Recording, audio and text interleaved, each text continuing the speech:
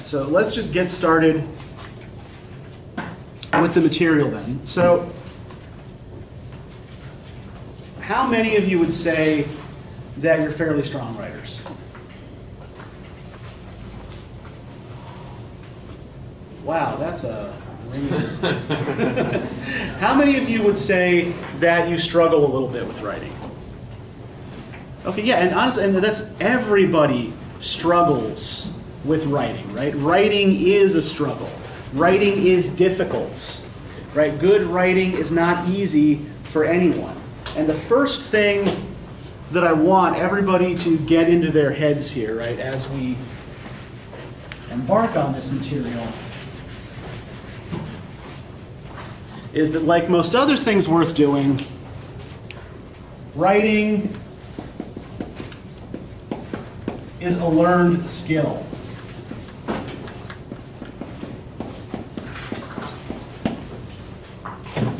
Right? If you feel like you are bad at writing now, that doesn't mean that you are always going to be quote unquote bad at writing, right? Intelligence is not fixed at birth. Plenty of research shows that people can get better at things they don't think they're good at with practice and feedback. And so that's largely what this course is going to be about, right? There's going to be, you're going to do a lot of practice, right? There are a lot of small assignments, and you're going to get a lot of feedback, right? The goal being to make you more confident writers by the end of the course, right? To improve those skills. Um, now, the first key to becoming a stronger, more confident, confident writer, the first skill you really need to hone observation.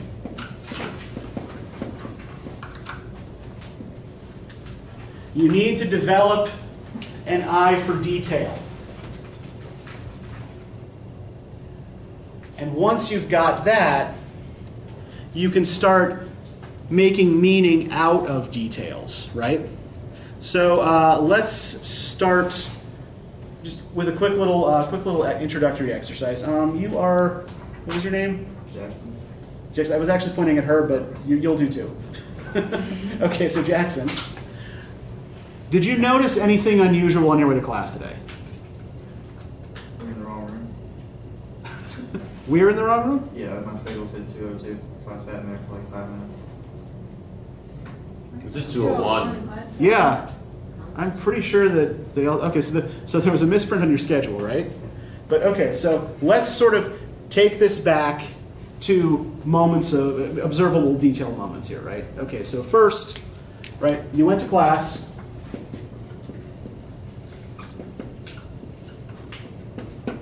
You observed that there was no one else in the room, right? So this led you to what conclusion? Well, there were, were American lit. Okay. which I figured out So. It wasn't there was no one else in the room, it was the wrong people were in the room, right? So you notice the wrong people in the room, and so your interpretation of the situation is, I need to leave. yeah, I need to leave because I'm in the wrong place, right? We do these kinds of things all the time, right? But we rarely actually think about them and break them down and try to analyze our behavior and our responses, right? We're always responding to these kinds of stimuli in our environment. And what I'm asking you to do today, right, and for the rest of the term, I hope for the rest of your college career, is to really think hard about these kinds of moments. Now, um, your name was? Grace. Okay, Grace. So, what did you notice anything unusual on your class today? Um, I did the same thing. You did the same thing he did. Yeah. Okay. All Just right. A separate room. All right. Let's try to Heather. What about you? Um, I noticed there were no elevators in the building. Okay. You notice that there was no elevator in this building, right? So, what conclusions can we draw from that? From the lack of an elevator? What conclusions about the building or the campus can we draw from the lack of an elevator? That the building must be old, right? Why must the building be old? Because most buildings have an elevator. Most buildings, and why do most buildings have an elevator? Exactly, right? Because you're legally required to provide access for people with disabilities, right? So if this building doesn't have that, it must mean that it was built before that law was passed, right? So it's grandfathered in. Right? They keep telling us we're going to get an elevator, but we have yet to see it. So fingers crossed. Okay. What I'd like you to do now, right, is just look around the classroom. Take five minutes and just write down observations about the objects around you, the general condition of said objects, right? What things do you see? What kind of condition do they seem to be in? Um, and focus only on things that are actually part of the classroom. Right? Don't focus on things that any of us brought in with us. Just focus on the classroom itself, right? Take five minutes and tell me what you see.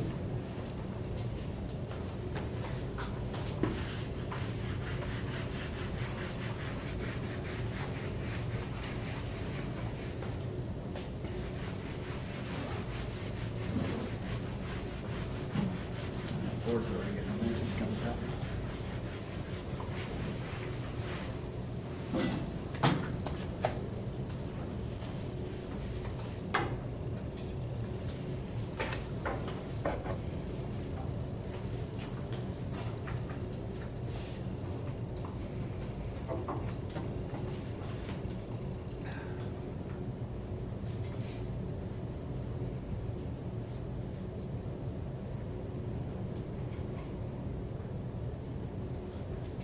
It might be a good idea to start by listing as many objects as you can, and then looking more closely at individual objects and making observations about them, right?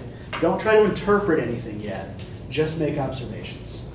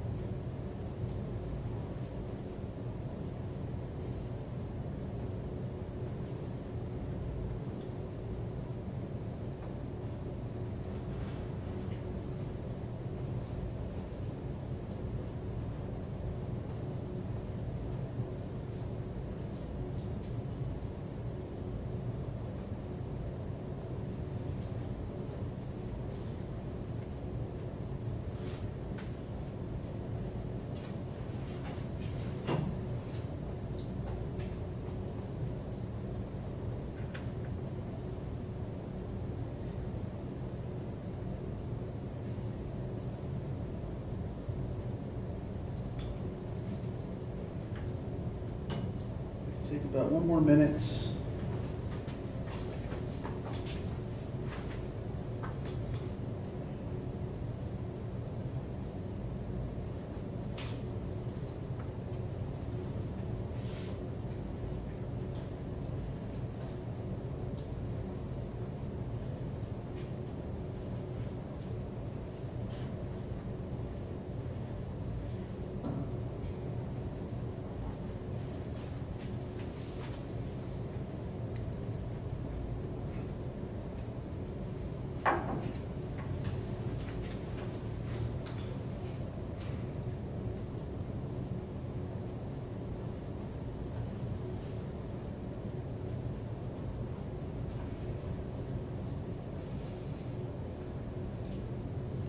Okay, so what do you got?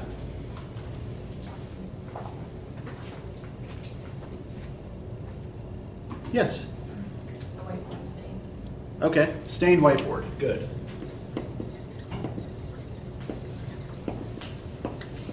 All right, what else?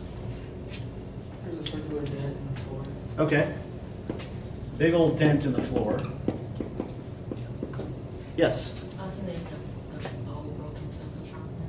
Okay, yep, we have a broken pencil sharpener from back when people needed to sharpen pencils. Okay, good. What else you got? Yes. The paint is peeled up there. Okay, peeling paint.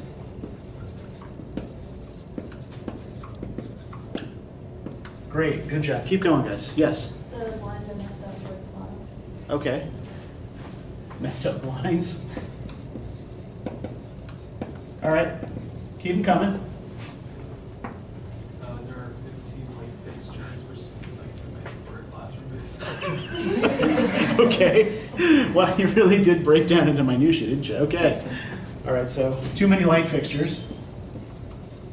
There's no clock. What's that? There's no clock. There, you're right. There is no clock. Dried out markers. Yeah. dried up, dried up markers. Office chair where you are, you're always standing. Okay. Yeah. Office chair in the way.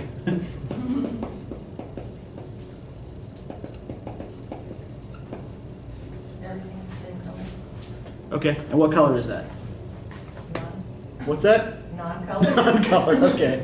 So yeah. Sort of one stripe of blue. Yeah, there's that weird stripe of blue up there, right? So most of room is monochrome. There's too many chairs. One weird stripe of blue. Did you say there's too many bears? Chairs. Okay. Yeah, more chairs than desks, right? There's trash on the desk.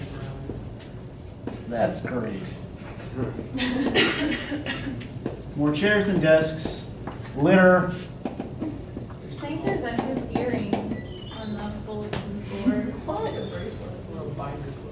Yeah, that could, yeah, people lose things, and that's, where do they put them? There's two holes in the wall. Okay, holes in the wall. Man, we're, uh, Making this classroom sound real great. I know, yeah. One of the light bulbs are burned out. What a beautiful place this is. Okay, burned out bulbs. No, they're not burning out. Oh, what's that? I said none of them are burning Oh, yeah, I guess, yeah, they, they they kept the lights going here. Yeah, that's, that's Plus, something. There's no spot for a lock on the inside of the door. Okay. No inside lock. Okay. There's like a ventilation vent in the door. Okay. Vent and door. So I guess so that we don't all suffocate. I don't know. There's a new projector for an old room. Yeah, we got shiny new projector up here, right?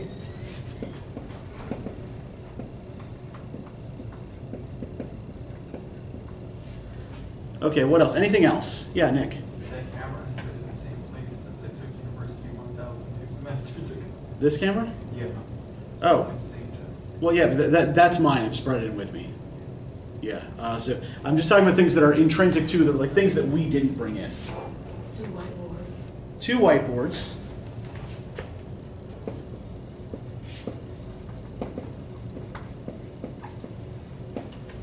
There's tape residue. Yep. Torn up tape. Okay. Focusing on the negative here. Okay, is there anything else in the room that looks relatively shiny and new? Smoke detector, or motion detector. Okay, with the motion, the motion detector doesn't always work like it's supposed to. yeah, yeah. The speakers? Yeah, we have speakers. Uh, These are actually a little bit out of date. Yeah, the air conditioner usually works. and we have a little smart cart with a computer here, right? That's what's behind uh, all of all of this. So I think we have enough here to work with, right? So what we can do now is we can try to use some of this information to draw conclusions about the room and about the department that uses the room, right? So we're going to start with a process that's called deductive reasoning, right? Does anybody know what I mean by deductive reasoning? What, You can come to a conclusion based on your observations. Uh, not quite. Essentially, what deductive reasoning means is that we start with a general principle and then work our way down to specifics that demonstrate that principle, right? So you're working from the universal or the general to the particular. So the general principle that I want us to think about here is given the state of the room, how much does the university seem to value this department and what we do? And, you know, focus on specific evidence here, right? Compared to like the Carter buildings, um, it seems like the university doesn't value its department. Okay. And what, what in general suggests here, like, just pick out a couple of things that, like a pattern here that suggests a relatively low level of importance. Nothing's there. Yeah, everything, almost everything, is old or in a state of disrepair, right? Or messy or unpainted or whatever, right? And you know, I'm, I'm not whining here. I do not, you know, take this as, as whining, right? This is just an observation exercise. You know, I'm not expecting all of you to go marching into Neil Weaver's office and demanding updates to the English building. Don't do that. Okay, so is there anything in this set of information that doesn't fit that general pattern? Projector, we all, like, all the lights are working. Okay, yeah, all the lights are working, right? That should be our bare minimum expectation, right? that the lights and the AC stay on. Um, we got the projector, right? What else do we have in here that's relatively shiny and brand new? This whiteboard's not really shining at all, it's pretty. That whiteboard's pretty. That whiteboard is absolutely is almost pristine, right? We'll talk about that in a minute. But what else? What's something that's sort of similar to the projector that we can sort of fit into the same pattern? Yeah, right. So we've got the projector and the smart cart, right? What do these things have in common? They're tech, right? Yeah. These are tech objects. So we have new shiny tech objects in the room, right? While the actual physical infrastructure around us is crumbling. So what does that suggest about some sort of the relative values the university places on physical space or like the direction they seem to want to go in? The technology is more important. Yeah, the, the, they'll put it, yeah, the, the tech is more important than the physical space, right? The tech is a sort of a kind of band-aid over the, it's like, well, you have these shiny new objects, right? That allow you to teach in new and unconventional ways, but you have to do so in, oh, hey, hey, look, even those windows back there are uneven, so the foundation's settling. That's, that's, that's wonderful. Great. Uh, we'll make it out alive. Um, so, related to that, right? Now, Dylan made an observation here about the very, very clean whiteboard that he is sitting next to. If we look at the way the room is set up, what kind of teaching style is this room oriented towards? What, what, what kind of teaching style does the person who designed this room seem to expect in it, and what's your evidence?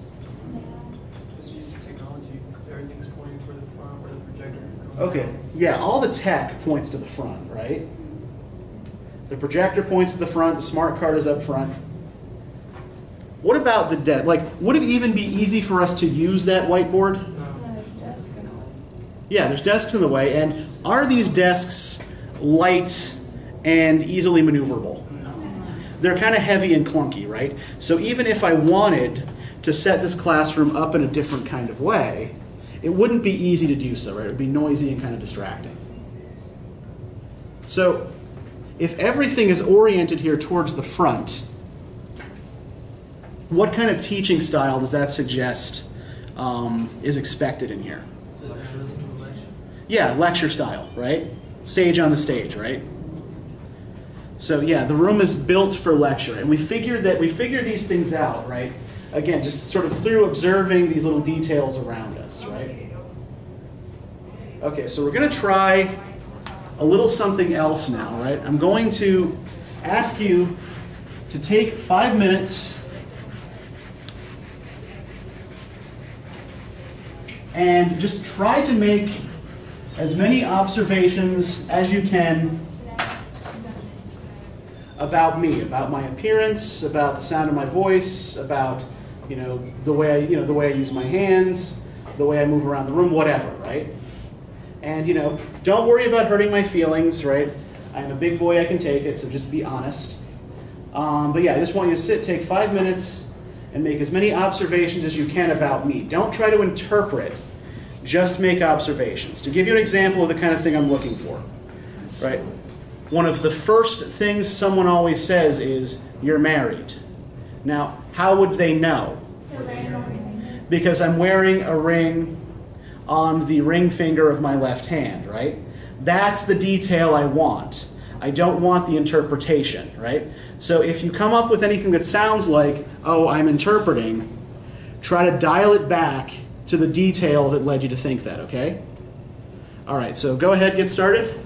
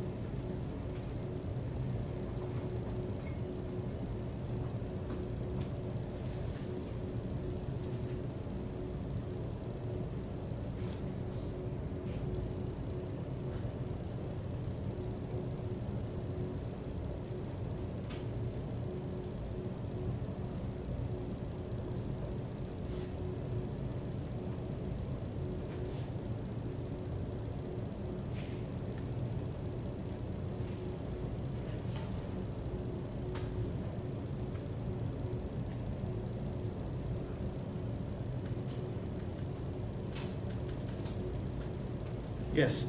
And this is just on how you look, not how you act. Oh, how I act too. Yeah, Oh. sure. Anything you've observed, as long as you can, you know, isolate it to a concrete detail, right?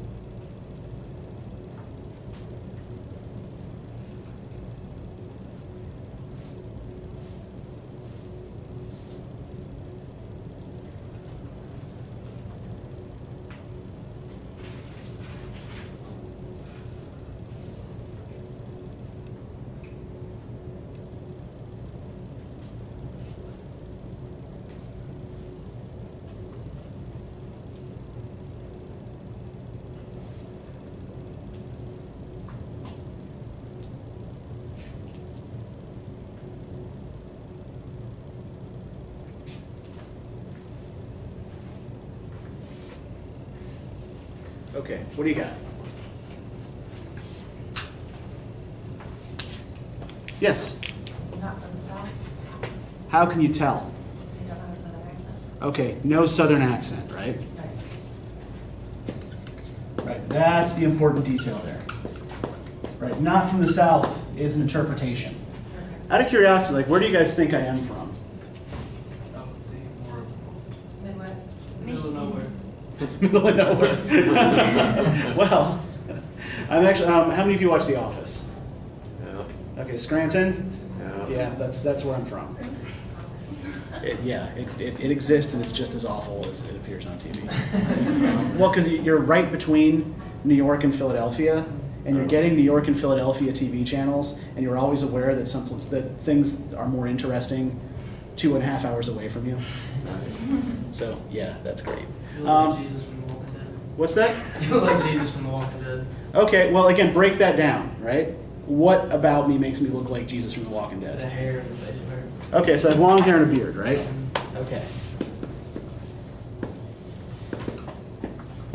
Right. Break it down into concrete details. Sneakers and jeans. Okay, I'm wearing sneakers and jeans. But a collared shirt. Yep. Okay, sneakers, jeans, collared shirt. All right. Undone. Collar is undone. Okay, good. What else you got? You pace a lot. Okay, paces. T-shirt under collared shirt. Okay, t-shirt under collared shirt.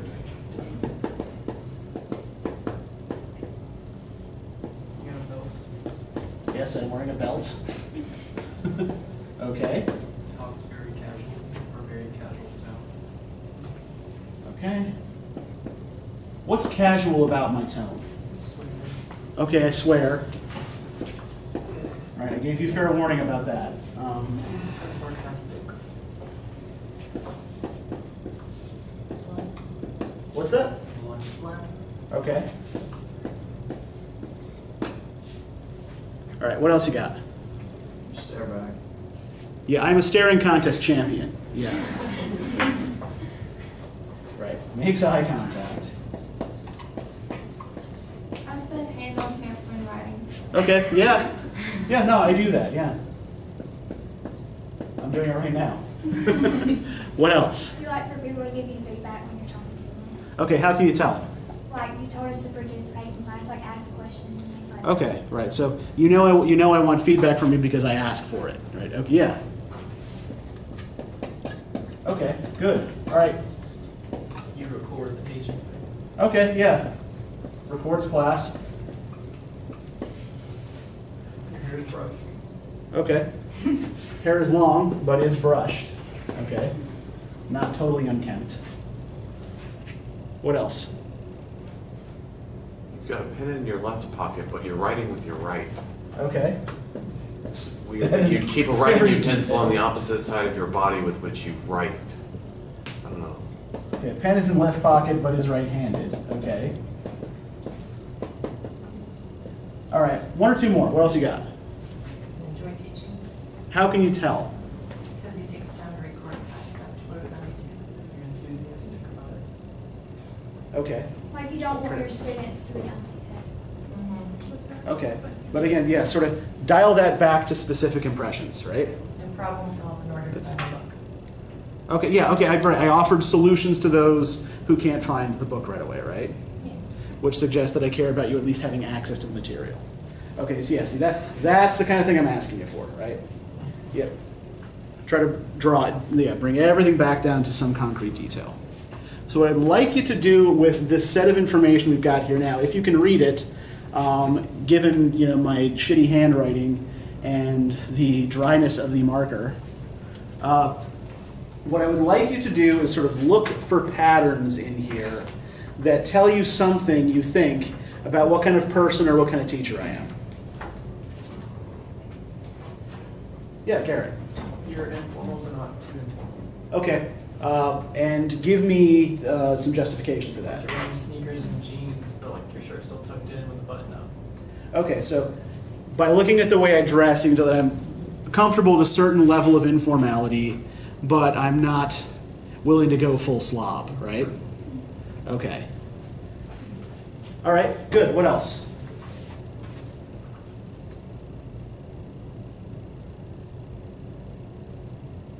You're a passionate teacher.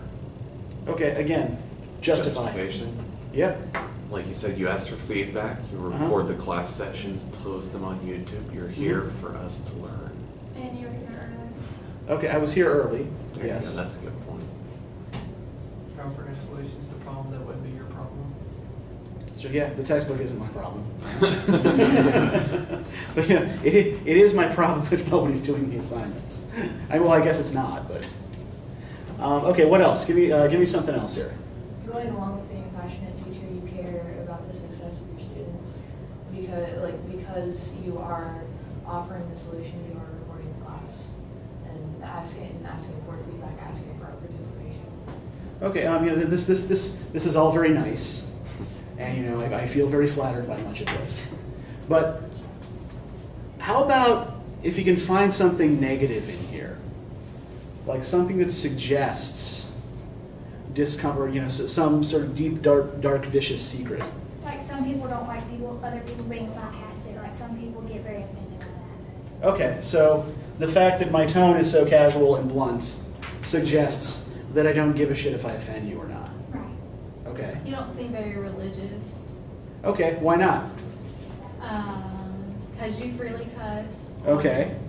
You said God damn. Yeah, okay. Guilty, yeah. You don't care what anybody thinks. Yeah, like you told us that if we don't like how you speak, then just go ahead and go to a different teacher.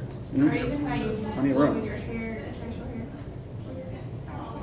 No, no concern for society standards. yeah, Nick. Um, you've been teaching for quite a while. Okay. Your casualness. Okay, ha- what other details suggest that I've been teaching a long time?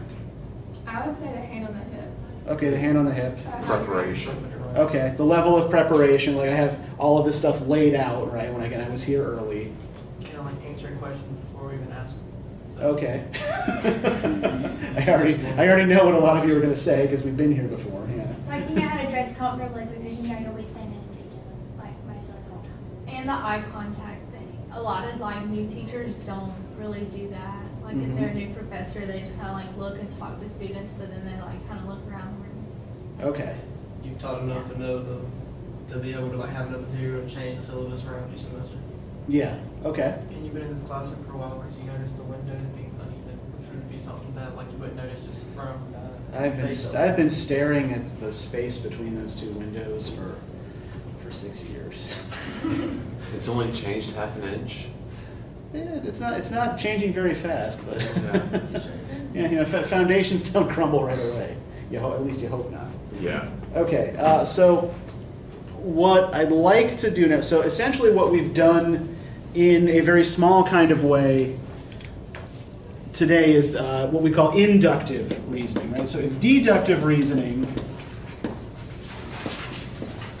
means you start with a, with a general question or a general principle and work your way down to specifics. Then logically, if inductive reasoning is the opposite, what does that mean? Specific to general.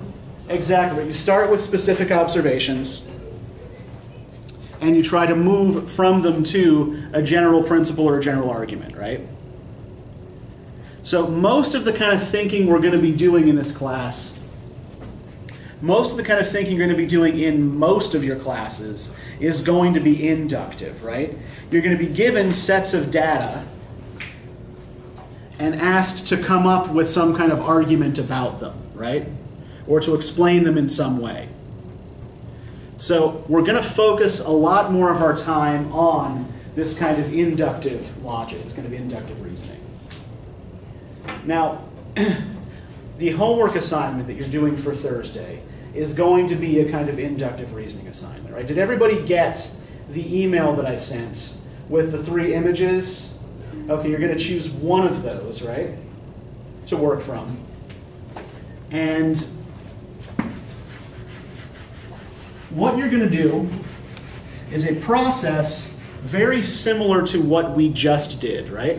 I want you to start by breaking down the image into parts, right? Making concrete observations about things you see in the image.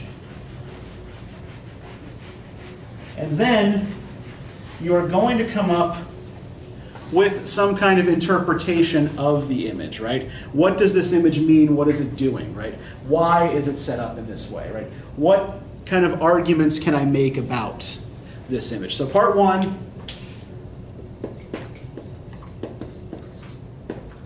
right? You're just going to give me your observations and the conclusions that they lead you to draw.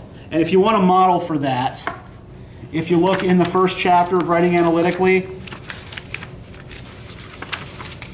there is um, Somewhere. somewhere in here, yeah.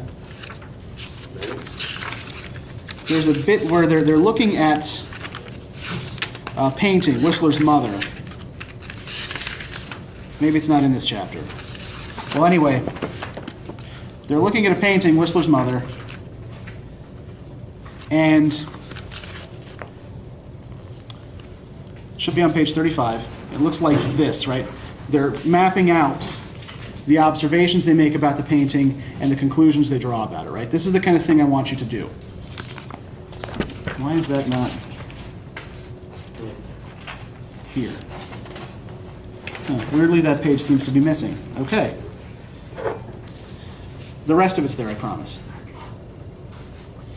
Now, the second. Are the homework assignments in like through Georgia View? Yes, you're going to turn those in in Georgia View. There is a folder for each assignment, and they're all labeled and in order, right? So the first four things you're going to be turning in for this class, right, should be the first four folders that appear in Georgia View. And you will not be able to upload it until it opens. It should have opened today. So you should be able to do it today and upload it. Now, part two, you are going to explain your interpretation of the image in 250 words. And to give you an example of what I want you doing, right? We're going to take a quick look at a painting and I'm going to demonstrate this for you, right? And you are going to try to do the same thing with one of the images that I have given to you.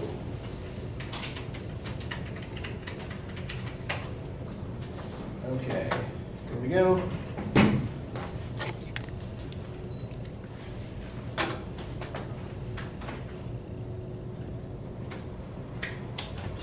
And we wait. Because technology. Yes? So this has to be typed. Yeah, this will need to be, uh, to be typed. Yes? Um, so where can we find the first two chapters in the book for the homework assignments? Um, I have the first chapter of the book for you here. Um, if you also need the second chapter of the book, I'll give that to you on Thursday. But yeah, we're kind of just going to do this on like a day by day basis. So when I'm letting you go, let me know if you need a copy of the first chapter of the book, and I will give it to you. But remember, like after this week, you're to have to get one yourself somehow. And if you need my help to do that, then just you know just let me know. Okay, so this image um, is a painting. It's part of a, a larger mural by the Mexican painter Diego Rivera, and it's called The Intellectuals. So what we see here, first and most obviously, right, are two groups of people, right? One group in the foreground and one group in the background. And it kind of looks like the foreground group are inside a room that the background group are looking into, right? There's a frame here that this group seems to be behind. Now, if we look at the group in the background, we see what kind of clothes are they wearing? Workers club. Work clothes, right? You know, sombreros, work hats, uh, you know, work shirts, right? What about the sorts of things, the objects they're carrying? Yeah, we got a hammer. One guy's got a gun. Another guy's got a sheaf of wheat, right? So we have a combination of tools and weapons, right? They're also all wearing bullets, you know, like bullet straps. Now, if we look at these figures in the foreground, what kind of objects do we see them holding? Okay, yeah, this, this one guy is strumming a harp, right? Yep, this guy is holding a quill pen. Yeah, this wizard looking guy in the middle has a funnel on his head and looks like he's holding up a wand, right? And this guy's sitting on a pile of books. It goes in the elephant. What's that? It goes in the elephant. Yeah, this guy's sitting on a sculpture of an elephant. And the woman who's throwing her head back and singing is sitting on him, right? She's leaning on him. So, one of the first things we want to do here is examine the relationships between the figures in the image and then think about their relationship to the audience, right? If we look at the figures in the background, where are their where's their attention directed? At the people in the at the people in the foreground, right? They are looking at the people in the foreground. And what do the expressions on their faces and the things they're carrying suggest about their attitude towards the people in the foreground? Pardon? Yeah, they don't like them, right? Hostile, malicious, right? Yeah, their, their intent towards these people is not kind. Now, what about the people in the foreground? By and large, what are they looking at? Well, is anybody actually looking at him except for these guys? He's looking at us, right? What about this guy, this guy, her, and him? Yeah, none of them are looking at anyone, right? They're kind of wrapped up in their like this. This guy's got his eyes closed. She's got her eyes half closed and she's looking up at the sky. His back to us, and his eyes are concealed and he's looking down, right? So each of these figures, whom we can assume are artists or intellectuals as opposed to workers, right? Given one, the title of the painting, and two, the objects associated with them they're all off in their own little worlds, right? And they don't see the threat from the workers behind them coming. So, on the one hand, the figures in the foreground look pretty ridiculous, right? They're silly, ineffectual, not paying any attention to the world around them. But the only figure who's the only figure in the painting who's engaging with us at all The in the guy in the middle right? The most ridiculous looking figure in the whole fucking painting right?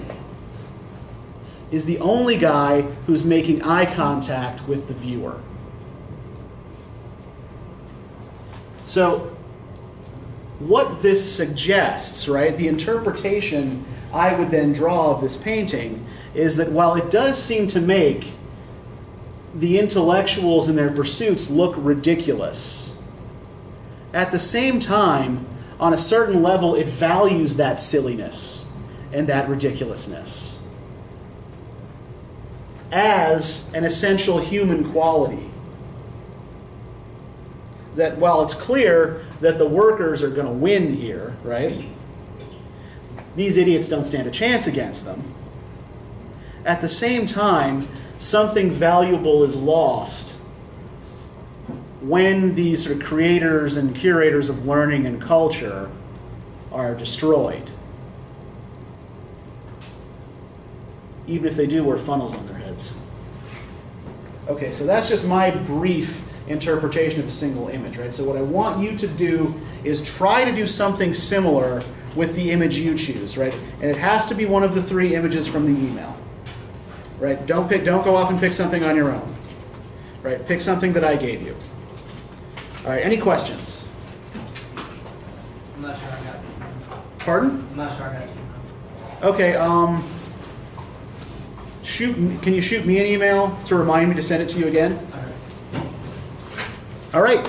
Um, and that's that. If you need a copy of the uh, first chapter writing analytically, come see me.